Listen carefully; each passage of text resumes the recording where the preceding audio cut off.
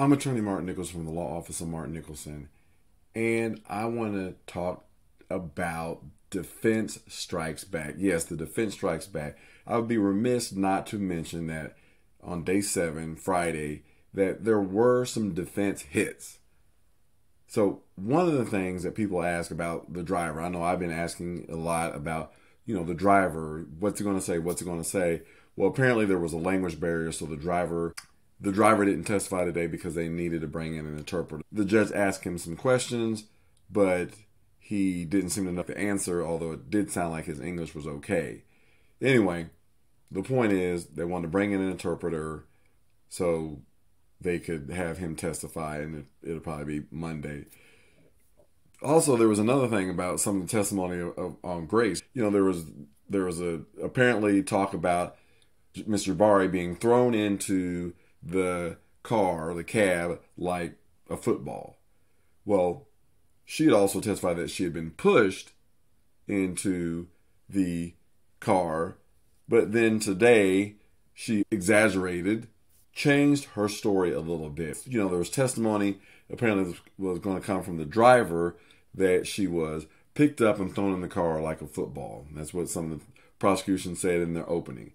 Well, now she's saying that instead of being pushed into the car, into the vehicle, now she's saying that he picked her up and threw her against the car. That's what her story is now. And what she's saying doesn't actually line up with what the video shows. So sometimes defense attorneys, what we'll say is you can believe the witness or your lying eyes when you see this, what the video shows. But one of the more interesting witnesses was one of the officers that wrote the police report that was on the scene, Brenden Swayne.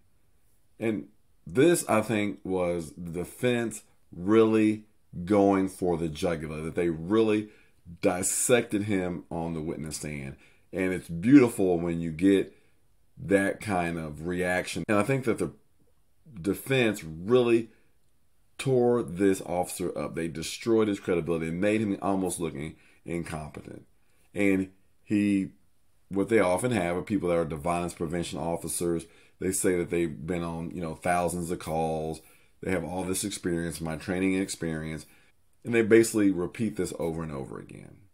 Now, they play the body cam without sound. And so people ask about why is there no sound? And sometimes because the things that are on there are inadmissible. And it can cause a mistrial because people aren't supposed to hear that.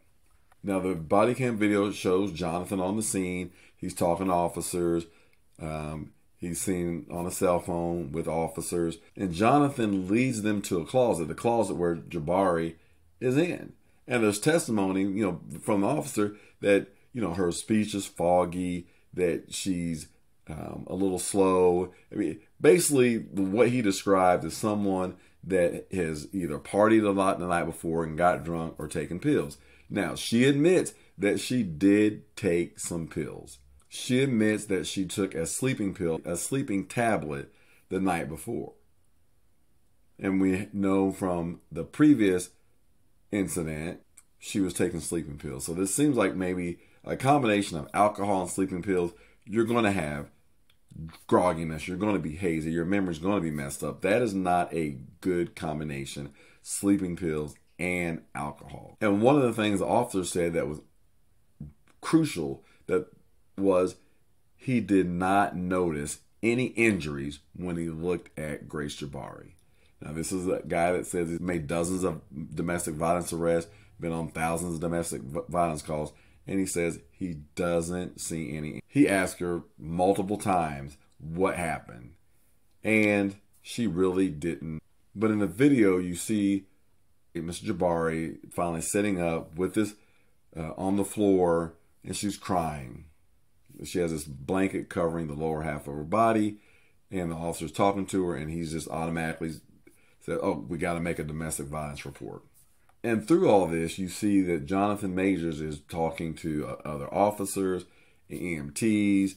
He's even talking to one of the sergeants, you know, one of the sergeants on scene. So he's doing a lot of talking. And when they photographed Miss Jabbari, she was using her hands, the same hands where she said her finger was broke, you know, fixing her hair. So she's moving her hand the same hand that is supposed to have that broken finger.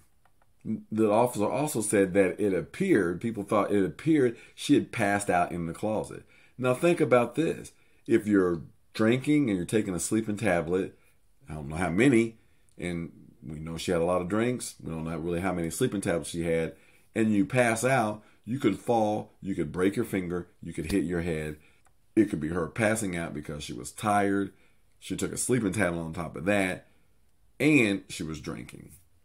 The officer was asked, Did you ask Miss Jabbari if she hurt her finger? And he said he might have said that. So then the defense ends up playing the video for him. They cue it up, he plays it, he listens to it, and then he comes back and says, I guess so. Why is he saying he guess so? He he he just heard himself, he just watched himself say it, but he's saying he guess so. I guess so. And that is classic officers that are doing their best to help the prosecution because they just don't want to get in there and admit the truth. I did say it. Simple. When they do that kind of stuff, it can hurt the state's case because it looks like why are they sitting here fighting things that we know are evident and we know are true. The officer was even asked about Jonathan's coat.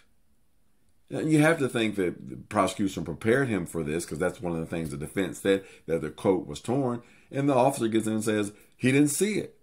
Then they play him the video where it shows Jonathan showing the officer his coat. I mean, how is this officer writing this report when he's talking about he's got all this training and he says that Mr. Jabbari had a small laceration behind the eye? He wrote that.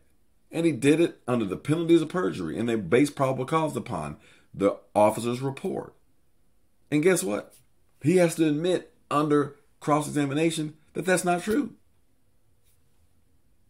Where did that come from? And the question now is will he be prosecuted? No. They're not going to prosecute him for that, but it happens. And a lot of times, what I do in my cross examination of the officers, I will talk about their training and experience. And I'll say, You wrote this report. And you wrote dozens of reports, thousands of reports. And they're answering yes to these questions. And you know it's important to the defense because we use that. Yes. And you know it's important to the prosecutor because they use that. And you know it's important to the judge. Yes, because they use that. That's how they determine if there's probable cause to arrest somebody. Yes. And you didn't think to correct this? No. Or you will say, is this accurate? And they'll say yes. But then again, you expose that it's not. So they know the importance of that. And you swore under oath that this was true. And you swore under oath this was true. And this is a report you wrote close in time to the incident. And you didn't think to make a correction? When you do an investigation, is it thorough? When you write a report, is it thorough? Is it accurate? Is it complete? And they're going to answer yes to all that kind of stuff. But then you turn around, but you wrote in this report that she had a, a small laceration behind the eye. And that wasn't true, was it? No. So was this report thorough, accurate, and complete? And then they'll turn around and say yes. And their credibility is just destroyed with the jury.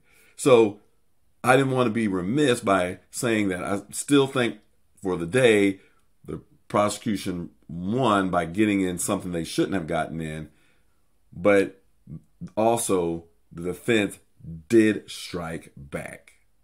So that's your Nicholson Nugget of the day. If you like this video, please like and subscribe. And once again, thank you for subscribing.